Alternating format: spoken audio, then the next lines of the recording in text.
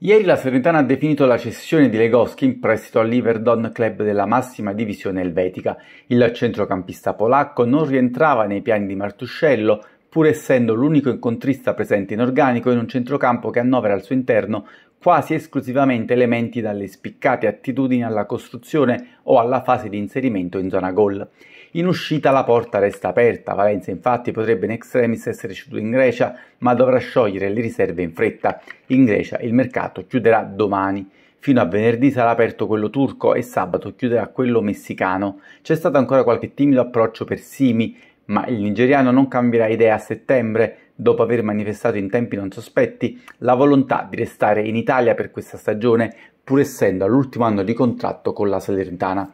Saltato invece il trasferimento di Sfaital Cluj, mentre il club Renata spera nello sconto per Callon.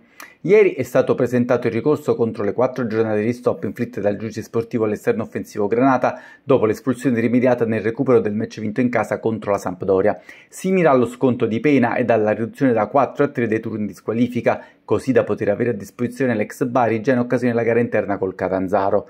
Dopo aver saltato la gara di Mantova, Callon sarà assente sicuramente sia col Pisa sia per la trasferta di Reggio Emilia. La prima occasione utile per lui di tornare in campo sarà rappresentata dalla gara di Coppa Italia in programma il 25 settembre sul campo dell'Udinese. Qualora arrivasse lo sconto, Callon potrebbe tornare in campo anche in campionato per il match del 29 settembre alla Richi col Catanzaro. In caso contrario dovrebbe attendere la successiva trasferta di Palermo.